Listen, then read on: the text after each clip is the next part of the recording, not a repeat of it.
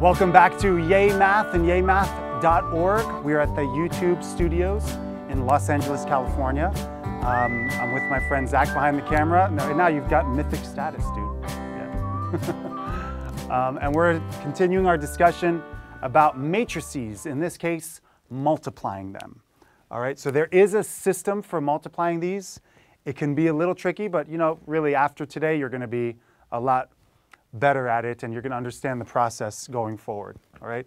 So let's create a two by two matrix. Let's go with one, two, three, four. And then let's go over here. Let's make up some numbers. Negative three, zero, uh, whatever, 5, and 7. Okay? So now we're going to multiply these two matrices. I'm going to call this A times B. Now, the temptation is to treat this the same way you would do addition. When I first saw something like this, I was like, oh, just like you add them, wouldn't you multiply 1 times negative 3, 2 times 0, and do all that? No, it's not the case. Uh, what we really need to do is learn how to multiply rows by columns. So I'm going to put that down. This means rows times columns. All right, I'll show you. First, we pick a row. There it is, 1, 2. And we multiply it by suspense, this column. Okay? And uh, let's see how that works. Okay. 1 times negative 3 plus 2 times 5. You'll notice that we go from this value, these two multiplied, plus move down, move along, and move down. So starting here, multiply these two, and add multiplying these two. So let's do that together. 1 times negative 3 is negative 3, plus 2 times 5 is 10. Negative 3 plus 10 is 7. That goes here. Okay? Now we're back. Before we move, oh, sorry, board. Before we move to the next column, we have to, or basically, no, excuse me, before we move to the next row, we have to try to exhaust every single column that follows this, all right? So before we move down, are there other columns for us to use? Yes, there's this. So we take this off, right? And now we're talking about this row by this column? 1 times 0 plus 2 times 7, okay? So basically, you don't want to move to the next row until you've exhausted every column for it. Again, stay on the row until you go column, column, column. When you finish the columns, then we can move down to the next row. All right? So here we are, 1 times 0, 2 times 7. That's 0 plus 2 times 7 is 14. That would go here. All right, we've exhausted every column. So we go take it off. And now we can go to the next row over here.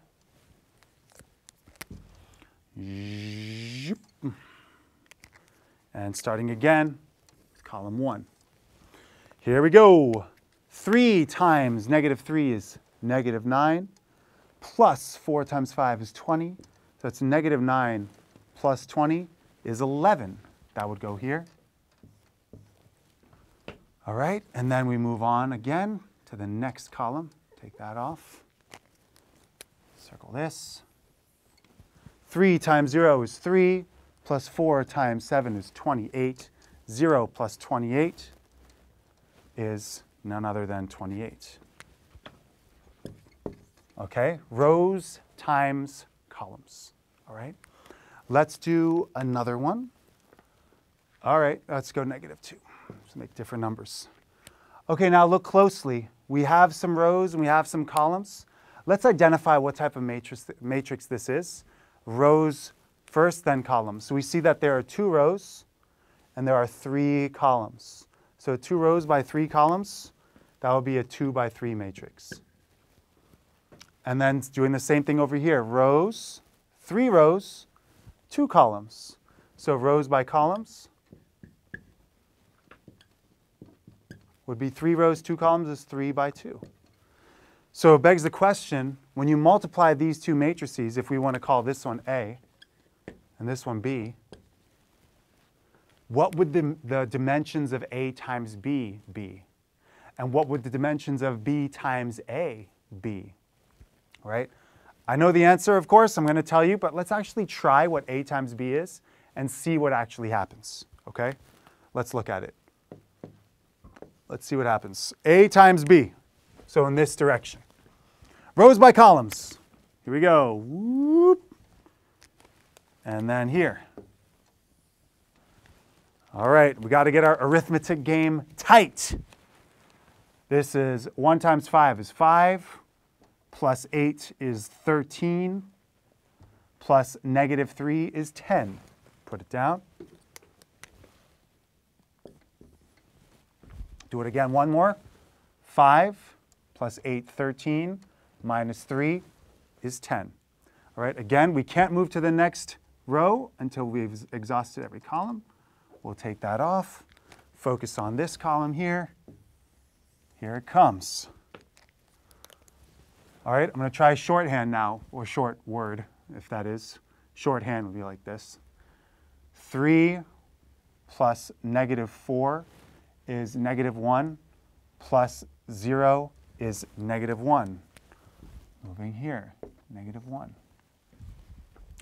We've exhausted every column, so we can go to the next row over here and start over on this side. Okay, so now we're ready to move this down. And we're ready to start back over here, just like a typewriter, back to the beginning. Let's do it. 0 plus negative 4 is negative 4, plus negative 6 is negative 10, coincidentally over here, just like negative 10. And then we got to exhaust the next column, keep on our row, this on. All right, here we go. 0 plus negative 2 plus 0. Notice I'm progressing and progressing simultaneously. 0, negative 2, 0 is negative 2. So you can see that the resulting matrix is 2 by 2. Now, could we possibly have predicted that? The answer is yes. It's kind of cool. I'm going to teach you something that really helped me figure this stuff out. If you're multiplying matrices, what's very important, 2 by 3 times a 3 by 2. All right, this is really important, right? So perk up for this. If the middle two numbers are the same, that means the two matrices can be multiplied. Their dimensions are such that sometimes we told you that matrix, matrices may or may not be multiplied together, like it's possible sometimes and it's impossible other times. So if these two are the same, that means the matrices can multiply. All right? And if that's the case, the resulting matrix are these two numbers, 2 by 2. There it is. That's the resulting matrix. so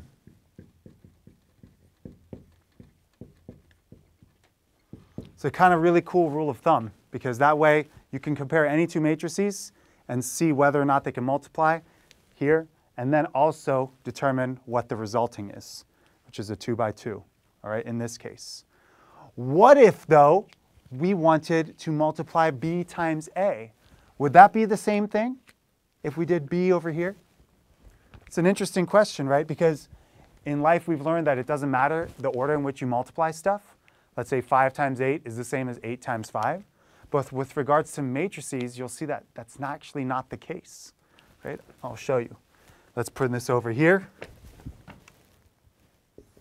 We're bringing b over. So that's 5, 3, 4. The 4 negative 2? Yeah. No, it wasn't. It's 4, 2. And it was um, 0, negative 1, 0. All right. I think I remember it being negative 2, but then I lost it, which is fine take this off.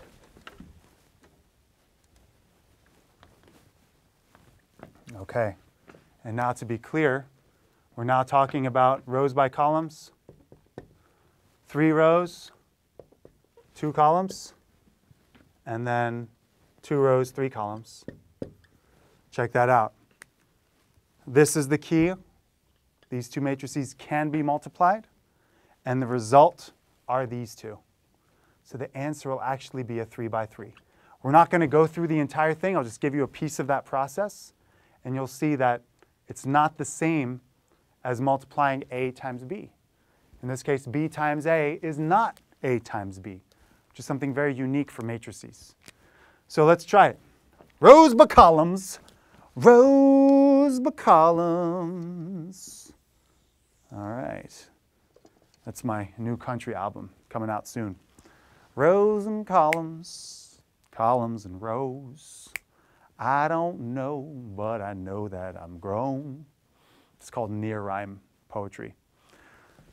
5 times 1 plus 3 times 0 is 5.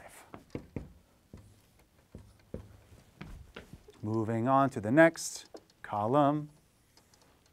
That's actually track 2 in my album. The next column is better than the first. 5 times 2, 3 times negative 1. 10 minus 3, 7. Let's finish out this column here. That's track 3. Finish out the column before you move on to the next. Do your best, and then you will be blessed. Another near rhyme. Moving on. 5 times 3 is 15 plus 18. 15 plus 18 is 33. Age of Jesus' death.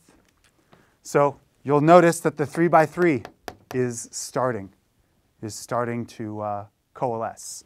You'll do this row and then this row, and then that comes here, and then that comes here.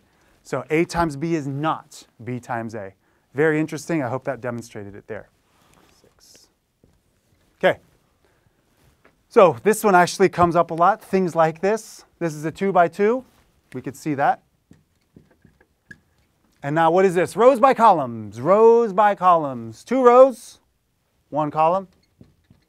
Boom! Can it be multiplied? Very good.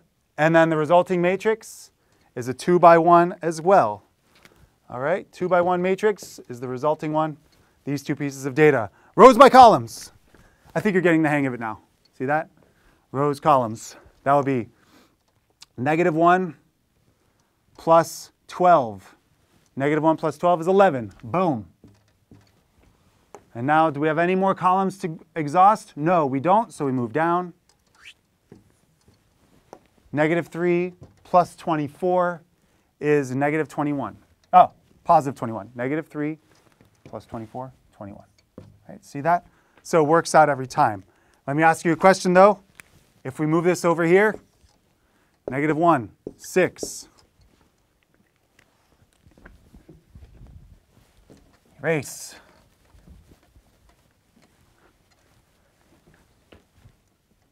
right? In the books and stuff, in the practice, they say, multiply these two, comma, if possible. I always thought that was a very challenging tone. If it's possible, do it. If it's possible. What is this? Rows by columns? This is 2 by 1. Rows by columns, 2 by 2. Do these numbers link up? They don't. That means not possible. All right? For our French audience, there you go. Pas possible. Not possible. All right. Last one. We'll have some fun with this one. I think you'll like it. We'll do a two by one, rows by columns. and uh, let's go one, two, three. So this is funny, right? Two by one, two by one. Rows by columns, that's one row, three columns, one by three. It looks like these two can be multiplied. I laugh to myself because it's so funny that these two can be multiplied and the resulting matrix is a 2 by 3. Isn't that cray-cray? It's like crayfish, all right? It turns out that when you multiply these two, you're going to get a 2 by 3 box, which is pretty large, man. Does that not alarm you? Let's do it. Rows by columns.